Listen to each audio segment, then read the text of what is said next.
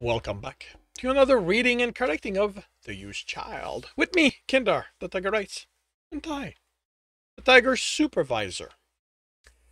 If you want to listen to these live, it's every Tuesday morning, 8 a.m. Eastern Time on Twitch. Today we are doing the epilogue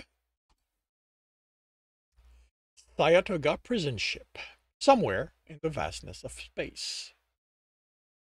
Elise Roma enjoyed walking the halls of the ship when she wasn't busy making sure the inventory of prisoners was accurate and that every cryopod was functioning properly. She liked simply walking through the corridors. Even when she was summoned by her superior, she made sure to enjoy the walk. It gave her time to prepare for the coming meeting, either making sure she had all the information she'd need, or, as was the case now, she could simply prepare herself mentally since she hadn't been told what this was about. The crew she walked by mostly ignored her, as she ignored them. She had a few friends, but they were either technicians or guards, and the odd of encountering one from either group on the command level was low. The odds were low. Were low.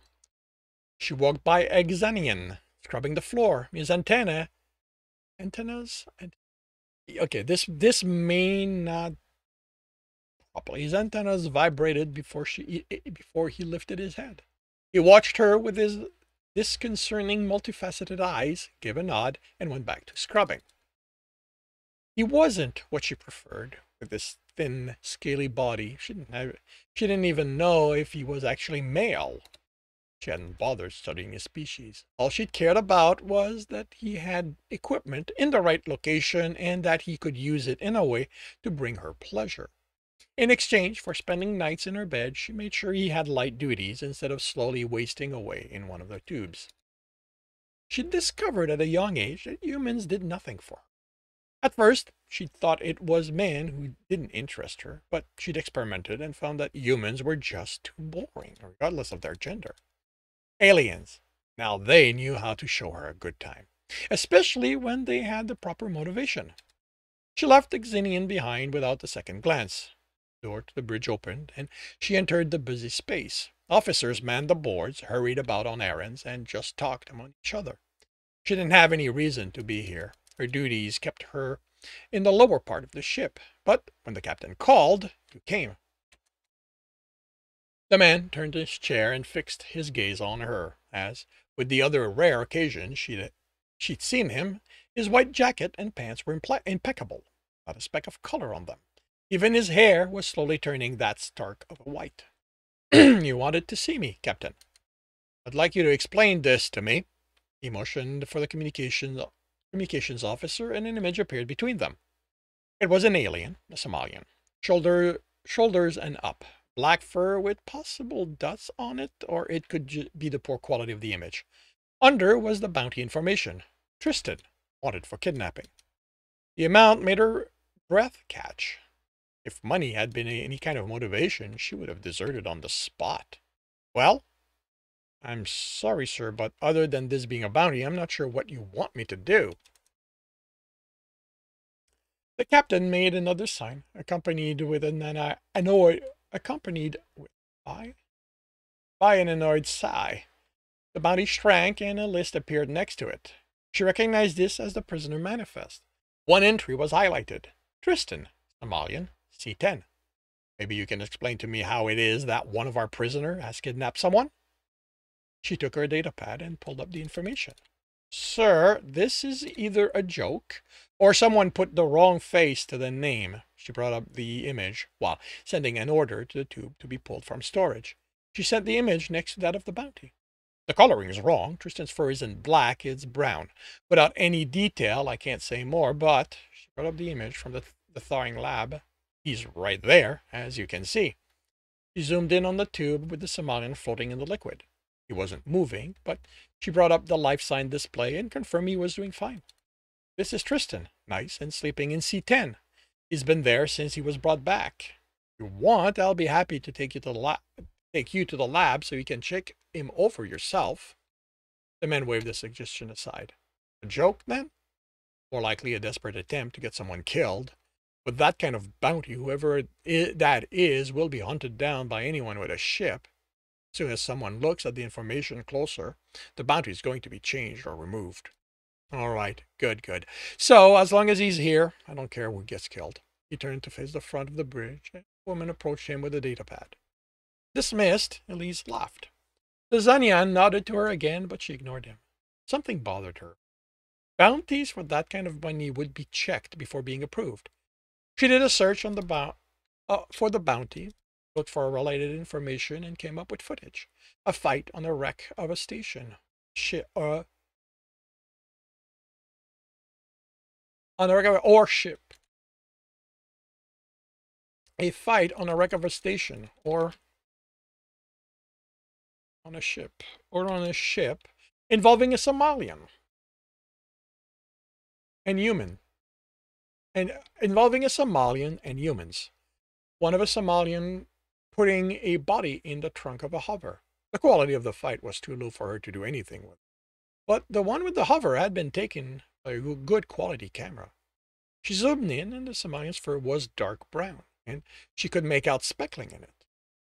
It was something of a coincidence that there would be two Somalian with the same body type and fur pattern. Although they weren't exact an exact match. This one was bigger, more muscular, more male. But it couldn't be Tristan. He was in the tube. Not only did the computer camera say so, she'd done a visual check less than a month ago. And she remembered him. Then she remembered him. How could she not? The way he looked, as the cryo fluid sloshed off his body, matting the fur and leaving nothing to the imagination. She'd had such planned for him, if only he hadn't pulled off an escape. When he was finally brought back, she couldn't take the chance to release him, no matter how tempting he was. He'd escape once, if he did it a second time, and she let him out, and she'd let him out, her career would be over. Still, something nagged at her. She sent the order to leave the tube out, went to her room for a data chip, and headed for the, the lab. The cryo transition room, called the thawing lab by the technicians, was empty. Unless there was a need to move a prisoner out, there was no need to have anyone here. The tube marked C10, central pedestal, and there was a body in it. She checked the readout. Everything was optimal. She brought up the computer records, compared them. They matched. This was indeed Tristan, according to the computer. Then she tapped her lip. Why is it you don't look right? She hadn't thought about it, about it until looking at the image of Somalian dumping the body. But dump, she hadn't thought about it until looking at the image of Somalian dumping at looking at the Somalian dumping the body, but didn't this one look the one in the tube look thinner, less muscular than she remembered? He could have lost mass while free, but Tristan hadn't struck her, struck her as someone to let himself go. And really, with with the traveling he'd had to do, how long had he been free? a few subjective months. She looked at his midsection, but that was no help. She'd fantasized about it too long for her memory to be. So, for so long, her memory had become distorted, which was why she'd gotten the chip, the one with the scan she'd run on him herself as he was let out. Oh, the numbers of fantasy that had fueled. She inserted the chip in her datapad and placed both readouts side by side. Immediately she saw the difference, enough that she pulled out the DNA for both. Definitely not the same person. This wasn't the Somalian she'd released to hunt down the captain's escaped plaything. She was by the com before she stopped herself. She'd confirmed this was Tristan when he was returned. Sure, she'd used the records and the computer, but she could still be held accountable if someone had gotten into their system and changed that. But could but could she be held accountable if someone had gotten into their system and changed that? If she told the captain, after telling him the bounty couldn't have been Tristan, what would he do? Who would he blame for the loss of revenue? He stepped back to the tube and tapped on it. If you aren't Tristan, you aren't going to be able to escape, will you? She looked him up and down, licking her lip. You certainly are now. You certainly are a specimen. After his return, she hadn't thought she could control someone like Tristan. But this Somalian? Him, she could make hers for as long as he pleasured her. She shivered as she made plans. She couldn't just release him. Like the others, there was no way she could justify taking Tristan out to give him light duties. She'd have to make sure the ship still thought he was in his tube. That meant bringing in bringing in one of her technician friends and making sure the Somalian kept to specific rooms so the ship wouldn't detect him, and a few guards, as well as one of medic. Fortunately, she knew one who still owed her a favor for that night of fun she'd arranged for him. Yes, with them, it would go perfectly. The Somalian stirred in her stirred steered stirred stirred in her bed.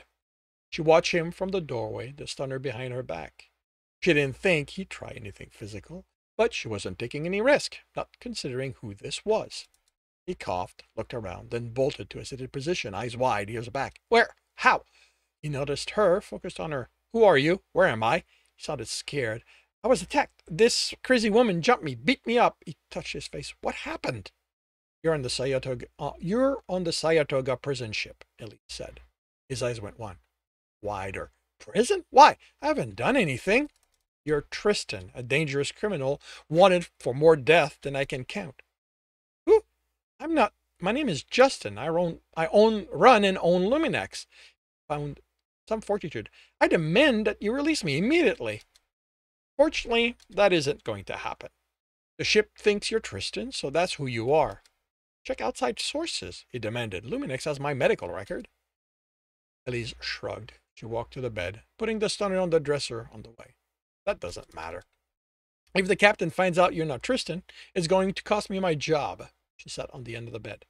How about you tell me why he arranged to have you take his place? I don't know. I've never heard of this Tristan. She smiled. That's a lie. You two are brothers. His demeanor changed, losing the fear and confusion. See, you did your research. I have to. Justin let himself fall back with a sigh. His head hit the pillow, and he placed his hand on his chest.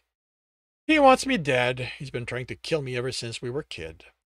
Kids, I can't stand that he, he can't stand that I'm smarter than he is. I guess using me to ensure no one would come looking for him was a backup plan. I'd almost escaped too. I was a, I was at the spaceport when that crazy bitch jumped me. He looked around. So, why am I here? This doesn't look like much of a cell. She moved closer. The Sayatoga keeps its prisoner in cryotubes. Fewer trouble that fewer troubles that way. Justin's ears tilted. Really? Then how did Tristan escape? Because of the captain's arrogance. He thought he could use the prisoners capture one one who'd managed to get loose on the ship. All it caused was chaos, turned into a mass escape attempt. Tristan and that prisoner who'd gotten loose were the only ones to su to succeed. How did you know he was held here? Our survival depends on knowing where he is. He looked around. This your room? She nodded. It's very nice. Why am I here?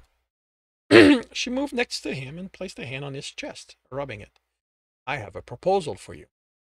Moved her hand to his stomach. If you agree to stay with me, to do what I say, I can keep you out of the cryotube. Her hand reached further down, under the covers. She rubbed his groin. Justin let out a small moan, placed his hand behind his head, and what exactly am I to do for you? She wrapped her, an, her hand around the shaft. Leisure me. And moaned and thrust up. Oh, I'll be able to do that. I'll be happy to do that. He licked his lips. You have things in hand. Are you going to use me or do I, you need me to do the work? Smiled. You seem rather eager to agree to this.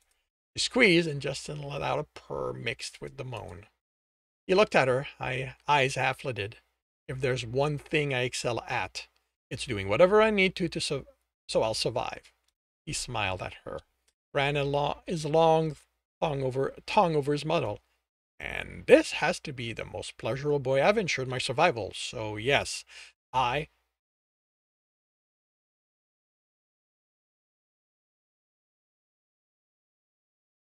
I'm more than happy to pleasure you. She released him and stood. She undressed slowly, watching him watch her.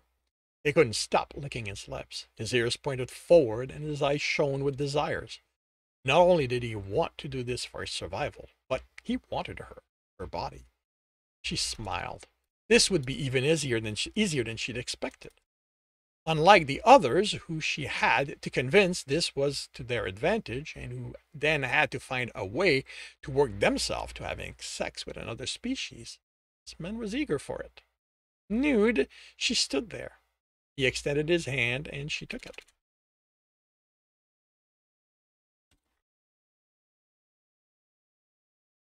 Uh, letting him pull her letting him pull her on up. Pull her. See. On top of him. She threw the covers off and admired his hardness, and as she straddled him, he was already panting as she ground against him. As he as he ground against her, she moved against him, rubbing to get herself wet, and then moved to take him in her. He tried to grab her hips to take control, but she batted the hand, his hands away. With a mischievous grin, he put his hand behind his head, acknowledging his defeat, but promising he wouldn't give up. Yes, she would enjoy this, she thought as she moved on him.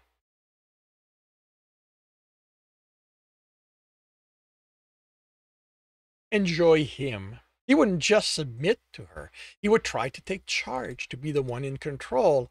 But she would teach him his teach him this was much better when he let her do when he let her tell him how it would go. He would learn to follow her lead. When she was ready, she changed her angle and they and they moaned in unison. She panted as she lay on top of him. That had been even more pleasurable than she'd imagined. The Somalian was talented and built in such a way he'd hit all the right spot inside her. He turned and she slipped onto the bed next to him. He pulled her against him. He was still ready to go, she could feel, but he didn't try he didn't thrust. He let her rest back against his chest while his hand moved between her leg. I think you misunderstand what it means to do what I say, she said. He moved a finger and she moaned. I am the one in control. He moved it again and she whimpered. After her first orgasm, he'd been, he began taking charge of how he pleasured her. He nibbled her neck. I'm used to running things, mistress. He made her moan loudly. I'm afraid it's going to take time before I fully understand my role. She bit her lip to stifle a scream. You need to arrange to train me multiple times a day. She yelled, and he continued pleasuring her until she sagged. And here I thought, she said, panting, that you'd fight me. He kissed the back of her neck. Why would I ever want to do that? He nibbled the lobe of her ear. I have any idea how long I've looked for someone willing to take charge. He moved his hand between her legs again, and she moaned. Every woman I've been with wanted me to own them. He rested his muzzle by her ear and whispered, Do wonder thing? Yes, she asked dreamily. Is your ambition limited to me? Or can you see yourself owning so much more? This concludes The Used Child, Book 3 in the Tristan series. If you enjoyed this, please give a like. If you want to know when the next book's going to be posted, subscribe and hit the bell. If you want to read the other books in the series, they are available on our all major e-retailers. If you want to support me, well as get access to basically everything I've written, that is on my Patreon. If you want to listen to these recordings happening live, it's on Twitch every Tuesday morning, 8 a.m. Eastern Time. The links are in the notes, and with that, I shall wish you a good day.